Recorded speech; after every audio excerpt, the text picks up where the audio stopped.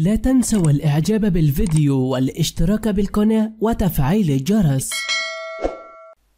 برلمانية تونسية تصف الغانوشي بزعيم الإرهاب في تونس وتدعو لهذا الأمر. تقترب أحداث الساحة السياسية التونسية من طي صفحة حركة النهضة الإخوانية بعد خروجها من الحكم والقبض على قيادتها بإغلاق مقراتها وخروجها من المعادلة السياسية واعتقال زعيمها وإعلان حظر أنشطتها على الأراضي التونسية. وتقول النائبة التونسية فاطمة المزدي التي عرفت بمعاداتها للنهضة وكل فروع الإخوان المسلمين أن صفحة الإخوان انتهت في تونس منذ أن انطلق مسار المحاسبة وصف زعيم التنظيم راشد الغانوشي المسجون حاليا في قضية التآمر على أمن الدولة بزعيم الإرهاب في تونس. كما وصفت فاطمة المصري في تصريحات لها النهضة إخوانية بحركة متصلة بالإرهاب. قائلة ننتظر تصنيفها إرهابية وحلها نهائيا خاصة أن جميع قيادتها حاليا يقبعون في السجون. بتهمة التآمر على أمن الدولة وعلى الأمن القومي وارتباطها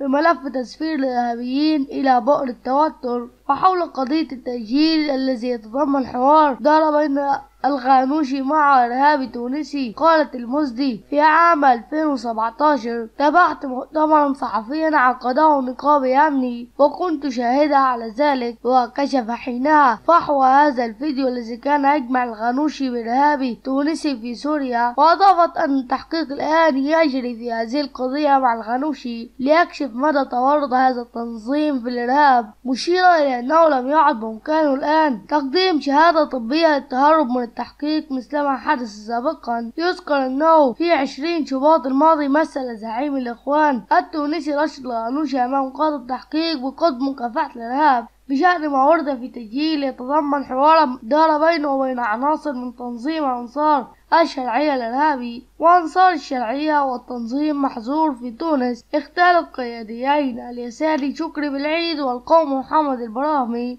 عام 2013 وتربط هيئة الدفاع عن شكر بالعيد والبراهمي بين أنصار الشرعية وحركة النهضة وتؤكد أن تنظيم الإخوان ضالع في جريمتي الاغتيال حيث تم فتح تحقيق مع الخنوشي رسالة تقدم نيابي أمني. بشكوى ضده يقول فيها أنه يمتلك تسجيلا للقاء بين الخنوشي وقيادتها من أنصار الشرعية الإرهابي.